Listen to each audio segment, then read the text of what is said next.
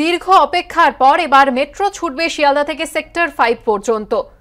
আর এই নিয়েই আশাবাদী যে এবার যাত্রী সংখ্যা অনেকটাই বাড়বে বলে আশা করছে মেট্রো রেল কর্তৃপক্ষ। দীর্ঘ অপেক্ষার অবসান। সোমবার উদ্বোধন হচ্ছে ইস্ট ওয়েস্ট মেট্রোর অষ্টম স্টেশন শিয়ালদার। সেই সঙ্গে কমছে দুটি ট্রেনের মধ্যে সময়ের ব্যবধান।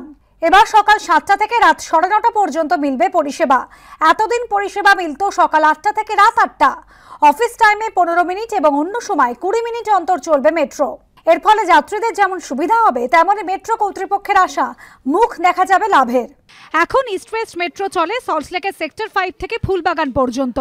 বৃহস্পতিবার থেকে এই মেট্রো দৌড়বে সেক্টর ফাইভ থেকে শিয়ালদা পর্যন্ত। দেশের মধ্যে ব্যস্ততম স্টেশন শিয়ালদা। প্রতিদিন লক্ষ লক্ষ মানুষের যাতায়াত।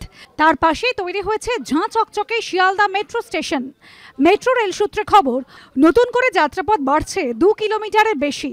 সব মিলিয়ে যাত্রাপথ হয়েছে ন কিলোমিটারের একটু বেশি। ইস্ট ওয়েস্ট মেট্রো শুরু থেকেই খুব একটা লাভের মুখ দেখেনি। মেট্রো কর্তৃপক্ষের আশা এবার আগের তুলনায় অনেকটাই বাড়বে যাত্রী সংখ্যা। মনে করা হচ্ছে প্রতিদিন পঞ্চাশ হাজার যাত্রী হবে। সেই ভাবনায় মেট্রো সার্ভিস সংখ্যা বাড়িয়ে একশো করা হয়েছে। এবার থেকে সকাল সাতটা থেকে রাত সাড়ে নটা পর্যন্ত মিলবে পরিষেবা।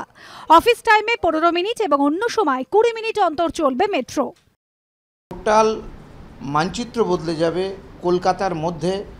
শিয়ালদা থেকে আর সেক্টর ফাইভ যাবার যে এক্সপেকটেশন তো অনেক বেশি। আমরা ধরে নিচ্ছি যে পার ডে এই রুটে অন্তত চল্লিশ থেকে পঞ্চাশ হাজার প্যাসেঞ্জার থাকবে এখনও পর্যন্ত ইস্ট ওয়েস্ট মেট্রোর সব থেকে বড় স্টেশন শিয়ালদা।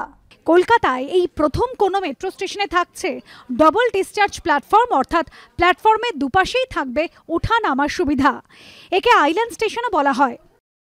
শিয়ালদা মেট্রো স্টেশনের হাত ধরেই কলকাতা প্রথম পেতে চলেছে কোনো ডাবল ডিসচার্জ প্ল্যাটফর্মে মেট্রো স্টেশন অর্থাৎ শিয়ালদায় ভিড় বেশি হতে পারে এই অনুমান করে প্ল্যাটফর্ম এমনভাবেই তৈরি করা হচ্ছে, যাতে প্ল্যাটফর্মে এসে ট্রেন দাঁড়ালে দুদিকের দরজাই খুলে যায় এবং স্বচ্ছন্দে ভিড় এড়িয়ে মানুষ ওঠানামা করতে পারেন। স্টেশনে থাকছে নটি সিঁড়ি, আঠেরোটি এসকালেটার যাতায়াতের সুবিধার জন্য থাকছে মোট পাঁচটি লিফট যাত্রীদের সুবিধার জন্য রয়েছে সাতাশটি টিকিট কাউন্টার মেট্রো রেল সূত্রে খবর, একুশ মিনিটের এই যাত্রাপথে ন্যূনতম ভাড়া ধার্য করা হয়েছে দশ টাকা, সর্বোচ্চ ভাড়া কুড়ি টাকা। অরিত্রিক ভট্টাচার্যের রিপোর্ট, এবিপি আনন্দ, কলকাতা। শেষ মুহূর্তে মুখ্যমন্ত্রীকে আমন্ত্রণ জানানোয় উদ্দেশ্য নিয়ে প্রশ্ন তুলেছে তৃণমূল এবং তৃণমূলকে পাল্টা আক্রমণ করেছেন দিলীপ ঘোষ। ঠিক সময়ে আমন্ত্রণ জানানো হয়েছে মুখ্যমন্ত্রীকে। খড়গপুরে কোনো প্রশাসনিক বৈঠকে সাংসদকে ডাকা হয় না। বিজেপি সবাইকে নিয়ে চলতে চায়। তৃণমূলের যাওয়ার মুখ নেই, তাই ভয়ে যাচ্ছেন না। কটাক্ষ বিজেপির সর্বভারতীয় সহসভাপতি দিলীপ ঘোষের।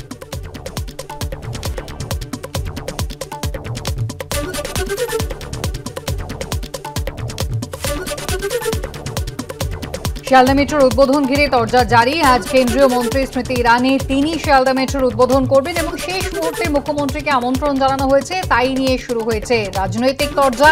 উদ্দেশ্য নিয়ে প্রশ্ন তুলেছে তৃণমূল কংগ্রেস। পাল্টা আক্রমণ করেছেন দিলীপ ঘোষ। তার বক্তব্য একেবারেই ঠিক সময় মুখ্যমন্ত্রীকে ডাকা হয়েছে। খড়গপুরে যখন কোনো প্রশাসনিক বৈঠক হয়, সেখানে সাংসদকে ডাকা হয় না। বিজেপি সকলকে নিয়ে চলতে চায়। তৃণমূলের যাওয়ার মুখ নেই।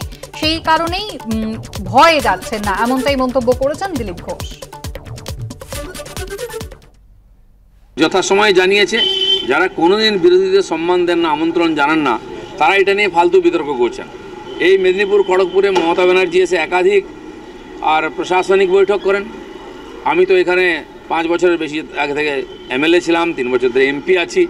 কখনো আমাকে একটা চিঠি দেওয়া হয় না। আমাদের এখানেও এমএলএ আছেন খড়গপুরে, কখনো আমাদের ডাকা হয় না। সরকারি যারা যেটা মিটিং সেটাকে পার্টির মিটিং করা হয়। তারা মনে করেন প্রশাসন আর পার্টির মধ্যে কোনো পার্থক্য নেই। আমরা কিন্তু মনে করি, সৌজন্য জানিস সবকা সাথ সবকা বিকাশের রাজনীতি আমাদের প্রধানমন্ত্রী করেন। তাই সবাইকে আমন্ত্রণ করেন। তাদের যাওয়ার মুখ নেই। যে ভাষায় তারা সমালোচনা করছেন, কথা বলছেন, যদি যান তাহলে লোকে দুও দেবে। তাই ভয়ে যাচ্ছেন